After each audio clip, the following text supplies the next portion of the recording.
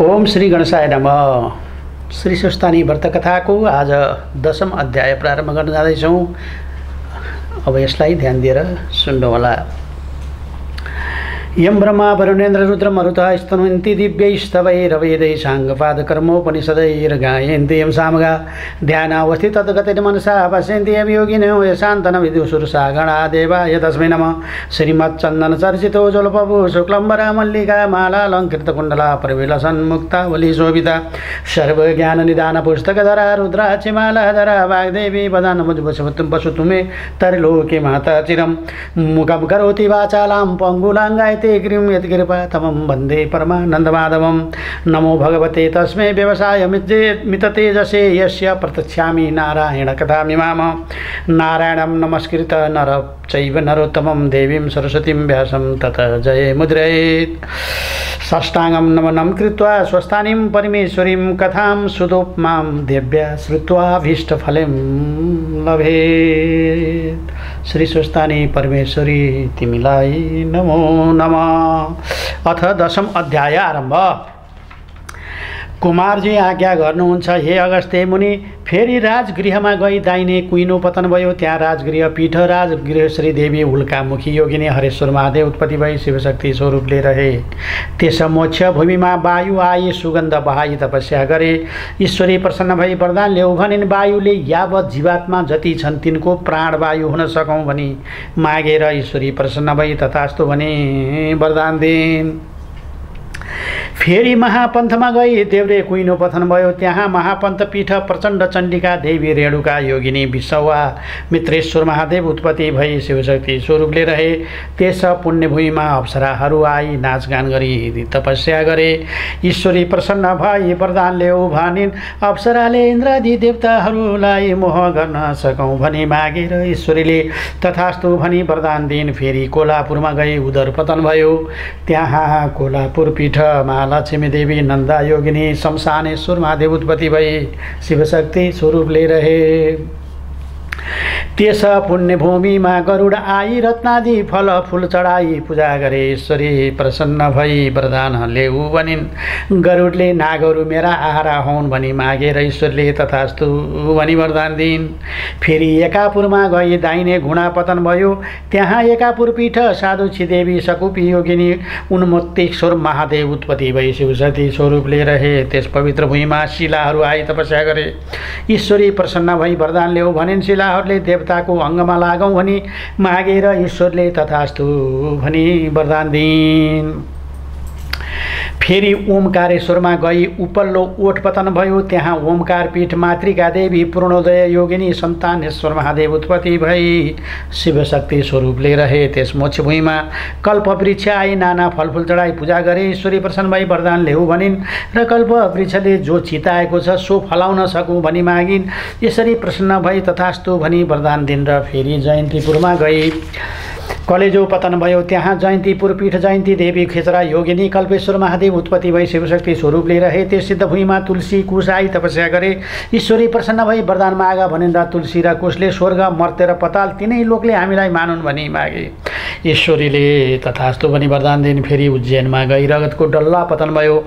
त्यहाँ उज्जैन पीठ महाकाली देवी ललज्जी हवा योगिनी झङ्केश्वर महादेव उत्पत्ति भई शिवशक्ति स्वरूपले रहे।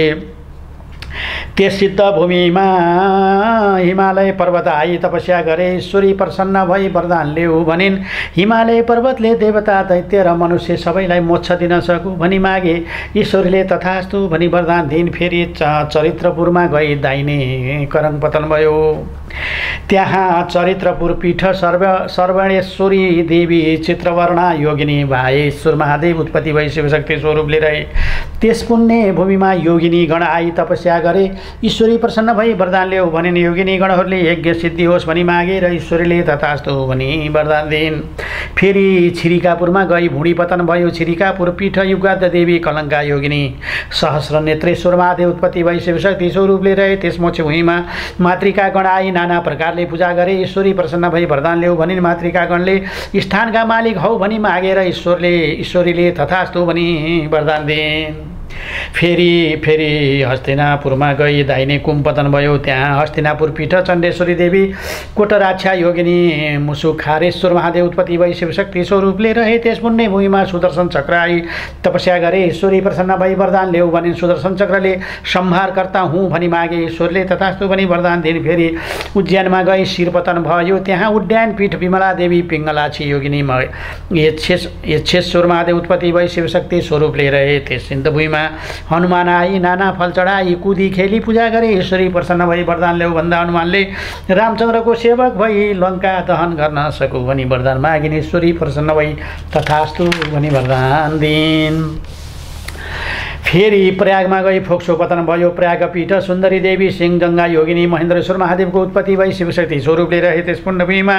दश अवतार आई तपस्या गरे ईश्वरीले प्रसन्न भई वरदान देऊ भनिन् र दश अवतारले सत्य त्रेता द्वापर कली चार युगका दैत्य सम्हार गर्न सकौँ भनी मागे ईश्वरीले तथास्तु भनी वरदान दिइन् फेरि विश्वमा गई मृगौला पतन भयो त्यहाँ विश्वपीठ जङ्केश्वरी देवी जकाली योगिनी कुण्डलेश्वर महादेव उत्पत्ति भई शिवशक्ति स्वरूपले रहे। त्यस सिद्धभूमिमा विश्वकर्मा आई। नाना चित्र विचित्र गरी देवालय बनाई तपस्या गरे ईश्वरी प्रसन्न भई वरदान ल्याऊ भनिन् र विश्वकर्माले मेरो कृति सत्य त्रेता द्वापर र कलि चारै युगमा स्थिर होस् भनी मागिन् मागेर ईश्वरीले तथास्तु भनी वरदान दिन्। फेरि फेरि मायापुरमा गई फियो पतन भयो त्यहाँ मायापुर पीठ मायादेवी चञ्चल योगिनी तपरेश महादेव उत्पत्ति भई शिवशक्ति स्वरूपले रहे त्यस तपोभूमिमा चतुर्सृष्टि लिङ्ग आयो जप ध्यान गरे। ईश्वरी प्रसन्न भई वरदान ल्याऊ भनिन् र चतुष्टै लिङ्गले स्वयम्भू लिङ्गले रहौँ भनी मागे। ईश्वरले तथास्तु भनी वरदान दिन्। फेरि मल्लागिरीमा गई बायाँ कुम पतन भयो। त्यहाँ मल्लागिरी पीठ मालिका देवी योगिनी उत्पन्नेश्वर महादेव उत्पत्ति भई शिवशक्ति स्वरूपले रहेर त्यस पुण्यभूमा भूत प्रेत पिसाच आई नाची खेली सेवा गरे ईश्वरी प्रसन्न भई वरदान माग भनिन् भूत प्रेत पिसाचले सधैँ तिम्रा नजिकमा बस्न पाऊँ भनी मागे ईश्वरीले तथास्तु भनी वरदान दिन् फेरि मलायागिरीमा आसन पतन भयो। त्यहाँ मलायागिरी पीठ वज्रेश्वरी देवी कोमला योगिनी जागेश्वर महादेव उत्पत्ति भई शिवशक्ति स्वरूपले रहे। त्यस पुण्यभूमिमा सत्य आई तपस्या गरे ईश्वरी प्रसन्न भई वरदान ल्याऊ भनेर सत्यले त्यो सत्यमा रहनेलाई उद्धार गरौँ। भनी मागेर ईश्वरी तथास्तु भनी वरदान दिने फेरि सेनामा गई मुकुट पतन भयो। त्यहाँ सेनापीठ उमादेवी अष्टभक्रा योगिनी कामेश्वर महादेव उत्पत्ति भई शिवशक्ति स्वरूपले रहे त्यस पुण्यभूमिमा। आदि इत्यादि नवग्रह आई तपस्या गरे ईश्वरी प्रसन्न भई वरदान ल्याऊ भनिन्। आदि इत्यादि नवग्रहले लाभ हानिको अधिकार पाऊँ भनी मागे र ईश्वरीले तथास्तु भनी वरदान दिइन्। फेरि मेरुगिरीमा गई। सूची स्थान पतन भयो। मेरुगिरी पीठ पूर्णादेवी कपालिनी योगिनी जिब्रा पतेश्वर महादेव उत्पत्ति भई शिवशक्ति स्वरूपले रहे। त्यस मोचे उहीमा सप्तनाग आई हिरा मोती माडी केना रत्न चढाइ पूजा गरे ईश्वरी प्रसन्न भई वरदान ल्याऊ भनेर सप्तनागले। शरीर अगम्य होस् भनी मागे र ईश्वरले तथास्तु भनी वरदान दिन्। फेरि महेन्द्रीमा गई दाहिने तिग्रो पतन भयो। त्यहाँ महेन्द्र पीठ इन्द्राक्षी देवी ऊर्ध गमिनी योगिनी तारेकेश्वर महादेव उत्पत्ति भई शिवशक्ति स्वरूपले रहे। त्यस पुण्यभूमिमा लक्ष्मी आई नाना द्रव्य चढाई सेवा गरिन् ईश्वरी प्रसन्न भई प्रदान ल्याऊ भनिन् लक्ष्मीले कार्तिक कृष्ण अमावस्याका दिन सम्पूर्ण लोकले पूजा गरी सम्मान गरून् भनी मागिन ईश्वरले। ल तथास्तु भनी वरदान दिने। फेरि बानरपुरमा गई बायाँ तिग्रो पतन भयो। त्यहाँ बानरपुर पीठ कामेश्वरी देवी भेरुण्डा योगिनी वेदान्तेश्वर महादेव उत्पत्ति भई शिवशक्ति स्वरूपले रहे। त्यस मोक्ष भूमिमा कमला आदि नाना पुष्प आई सुवासना दिएर तपस्या गरे। ईश्वरी प्रसन्न भई वरदान ल्यायो भने कमला आदि फुलले पूजाकालमा प्रशस्त होस् भनी मागेर ईश्वरीले तथास्तु भनी वरदान दिइन्। फेरि हिरण्यपुरमा गई सुन सुन स्थान पतन भयो। त्यहाँ हिरण्य पीठ नवरत्तेश्वरी देवी त्रिपुरेन्द्र योगिनी नारेदेश्वर महादेव उत्पत्ति भई शिवशक्ति स्वरूपले रहे। त्यस पुण्यभूमिमा सरस्वती आई अनेक स्तुति गरिन्। ईश्वरी प्रसन्न भई वरदान ल्याऊ भनिन् सरस्वतीले यावत जीवात्मा जति छन् तिनका बोलीमा मेरो भाष होस् भनी मागिन्। ईश्वरीले तथास्तु भनी वरदान दिइन्। फेरि महालक्ष्मीपुरमा गई बायाँ करङ पतन भयो। त्यहाँ लक्ष्मीपुर पीठ कमलाक्षी देवी दिगम्बरा योगिनी त्रिकटेश्वर महादेव उत्पत्ति भई शिवशक्ति स्वरूपले रहे। त्यस सिद्धभूमिमा अणिमादि प्रवृत्त अष्टसिद्धि आई योग मार्गले तपस्या गरे ईश्वरी प्रसन्न भई वरदान ल्याऊ भनिन्। अष्टसिद्धिले अमर हौँ भनी मागे र ईश्वरीले प्रसन्न भई तथास्तो भनी वरदान दिइन् फेरि उद्यानमा गए कन्नौलो पतन भएर त्यहाँ उद्यानपीठ त्रिपुरे सुन्दरी देवी सुशाङ्क दोरी योगिनी भैरवेश्वर महादेव उत्पत्ति भई शिवशक्ति स्वरूपले रहे। त्यस आनन्द भुइँमा मेघ आई मानुष्पचारले पूजा गरे ईश्वरी प्रसन्न भई वरदान ल्याऊ भनिन्। मेघले संसारलाई जलदान दिई उद्धार गर्न सकौँ भनी मागे र ईश्वरले तथास्तु भनी वरदान दिन फेरि छाया क्षेत्रमा गइरहेका सबै अङ्ग पतन भयो। त्यहाँ छाया क्षेत्र पीठ जत्रेश्वरी देवी सुसुकेदार योगिनी पिसाचेश्वर महादेव उत्पत्ति भई शिवशक्ति स्वरूपले रहे।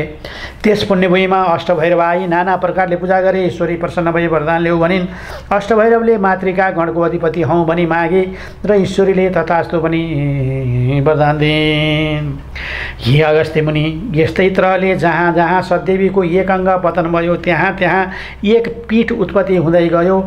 सबै पीठको सङ्ख्या साढे सात कोटी छ त्यसमध्ये पञ्चाशत पीठको मात्रै दर्शन गर्यो भने पनि इच्छा सिद्धि हुन्छ। सम्पूर्ण पाप नाश हुन्छ। मनुष्य जन्म भई पञ्चाशत पीठमा एक पीठको पनि दर्शन गर्न सकेन भने त्यसको जन्म व्यर्थ हुन्छ भने चतुर्मुख ब्रह्माले यस्तो संज्ञाज्ञा गर्दा भए।